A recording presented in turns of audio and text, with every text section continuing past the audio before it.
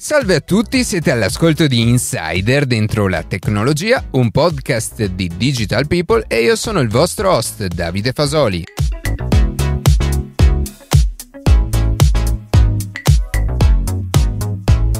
Nella prima puntata dell'edizione estiva vi proponiamo un estratto inedito della puntata che abbiamo realizzato con l'Agenzia Spaziale Italiana. A Marino Chris Conio, membro dell'unità Volo Umano e Sperimentazione Scientifica dell'ASI, avevamo chiesto Finora eh, abbiamo parlato del ruolo che ricopre l'Italia e tante aziende italiane nel settore dello spazio. Però, innegabilmente, in, questo periodo stiamo assistendo a un fenomeno appunto della privatizzazione dello spazio.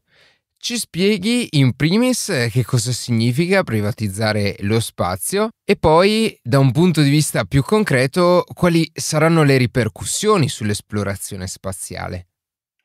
Allora, questa privatizzazione è una cosa che è nata negli Stati Uniti eh, subito dopo la fine del programma Space Shuttle.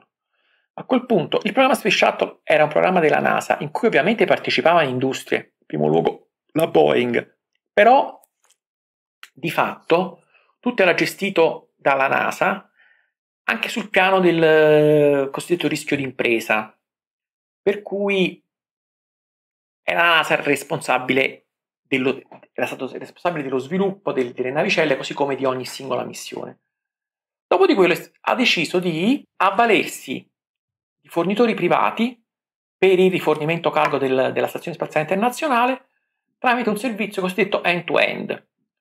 E dopo una gara questa cosa è stata vinta da due fornitori che sono appunto SpaceX di Elon Musk e adesso si chiama NG, prima si chiamava, non me lo ricordo più, comunque quello, quello che come dire, produce le, sviluppa le navicelle Cygnus mentre SpaceX sviluppa le navicelle Dragon. In entrambi i casi, la NASA ovviamente ha staccato un bel assegno per queste due società, però a quel punto sta a loro gestirsi tutto. Possono guadagnarci molto, possono guadagnarci poco, possono anche rimetterci. Questo è il concetto. E nel fare questo, e questo è, è, è, è come dire, un, un aspetto del, della, della, della, della privatizzazione. L'altro aspetto è cercare di attirare clienti privati. Quindi negli spazi dentro la stazione spaziale, per, la NASA una percentuale delle risorse, anziché farle utilizzare a spese proprie agli scienziati, che è la, la, la classica cosa che, che, che, fanno tutte le agenzie spaziali, per cui tu paghi tutto e dopodiché per fare scienza metti a disposizione gli spazi e, e magari paghi anche gli scienziati per poter sviluppare gli esperimenti. Una quota parte viene venduta a eh, come dire, clienti privati interessati a fare esperimenti sulla stazione spaziale.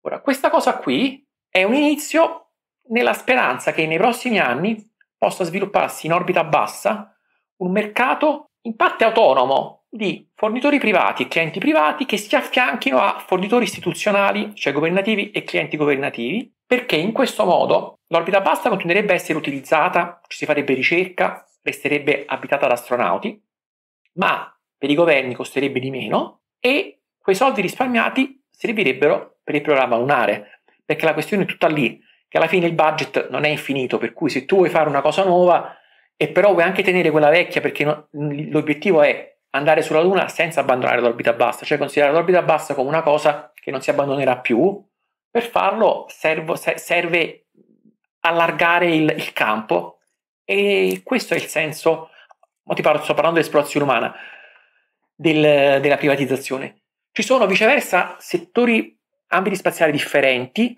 in cui clienti, attori privati esistono da tempo, tipo so, il broadcasting televisivo.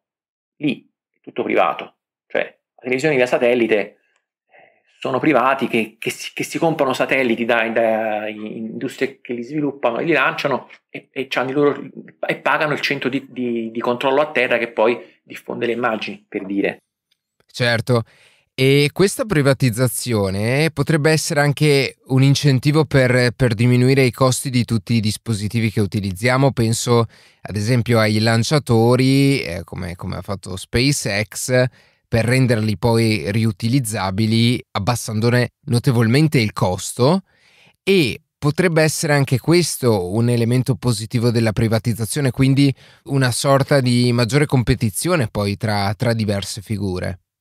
Sì, sicur- sicuramente sì, perché quando entrano in gioco attori privati c'è quel tanto di concorrenza che spinge a ottimizzare, usare meglio le risorse, provare ad abbassare i costi per essere più competitivi, cosa che se paga sempre l'agenzia governativa, uno è meno, è meno, è meno, è meno stimolato a, a, a, questo tipo di ottimizzazione.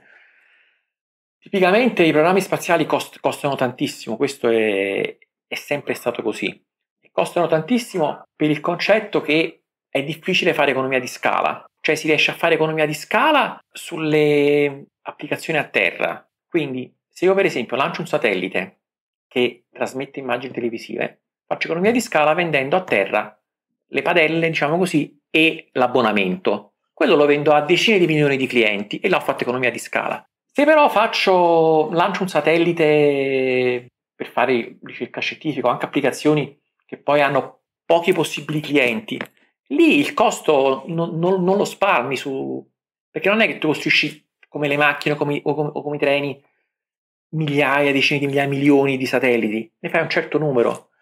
Allora, questo fatto è quello che ha prevenuto fino adesso il, dire, la, l'ingresso di, importanti di, attori, di attori privati e il fatto che eh, lo spazio rimane in larga parte finanziato dai, dai governi.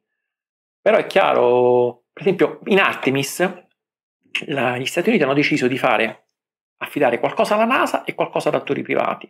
Quindi adesso c'è una gara per lo Human Landing System in cui competono tre eh, aziende statunitensi. Tutte e tre hanno avuto un contratto dalla NASA per fare la fase A, quindi la fase diciamo, di analisi di fattibilità e pre-progettazione e questo dal punto di vista loro è un modo per avere tempi ridotti e magari costi un po' più bassi. E tra parentesi, una di queste tre aziende ha come sottocontraente un'azienda italiana. Quindi l'Italia partecipa anche lì, ecco, anche in questo aspetto.